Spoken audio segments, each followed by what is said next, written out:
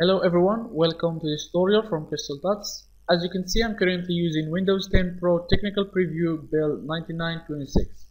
And if you are also using Windows 10, you've probably noticed that when you open File Explorer, you get this window with frequent folders and recent files that you have used instead of, instead of this PC window that has been around in Windows 8 and Windows 8.1.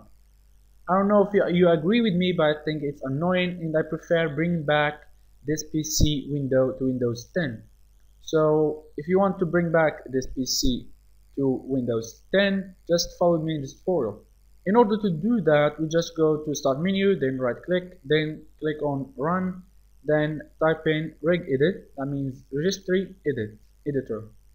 Then OK, and you accept by yes now you open registry editor and you go to this path that will be in the description below which is HK local machine then software then Microsoft then down here go to Windows then current version then Explorer then home folder namespace delegate folders in here you see these two files that are responsible for the first one is responsible for recent files folder then the second one is responsible for frequent places folder. What we are going to do is we're going to rename these two files to get rid of them. So we'll right click on one of them then rename then add something in the beginning. For example CT then uh, the second one also rename then CT. As you can see, I've renamed him. Now, if you open the File Explorer, you will see a blank page with nothing in it. So to bring back this PC folder or this PC window, we just right click on delegate folders, then new, new key. To rename it, I'm going to name it this name that you will find also in the description. We just copy, then right click rename and paste in the name. Just click on it. Now the, on the default by selecting this new this new folder that you, you have created we double click on default and from value data we, we rename it. Sorry. This PC just hit OK.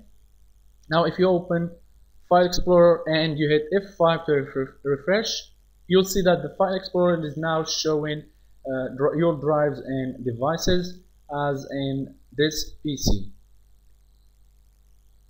If we open it again, you will see that it doesn't open the frequent folders or, uh, or recent files. It will open these files. That means this PC, you will see devices and drives in order to make sure that Windows doesn't record uh, your recent files in recent folders you just go to the start to taskbar then right click then properties and you go to the start menu tab and untick this uh, options store and display recently opened items in start menu like this then click on apply then ok now the Windows a File Explorer or Start menu won't never show your recent files or recent folders or frequent folders.